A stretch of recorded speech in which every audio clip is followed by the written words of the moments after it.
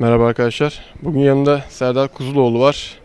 Ondan birkaç nasihat alacağım. Türk insanına teknoloji nasıl aktarılmalı diye soracağım. nasıl aktarılmalının içerisinde e, nasıl e, anlatılmalı da var mı bilmiyorum ama e, şimdi öncelikle Türk insanına bir şey anlatmak çok tehlikeli ve çok e, büyük bir meydan okuma. Çünkü biz e, hani bir küçük gözümüzde canlandırırsak anılarımızı tazeleme adına e, tüp kaçağını kibritle kontrol eden bir ülkeyiz.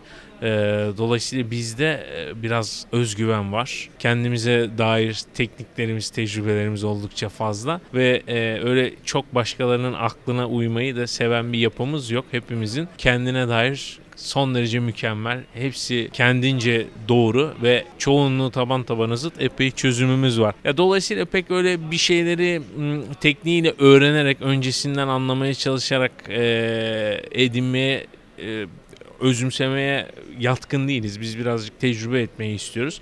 Biraz insan doğası da aslında onu gerektiriyor.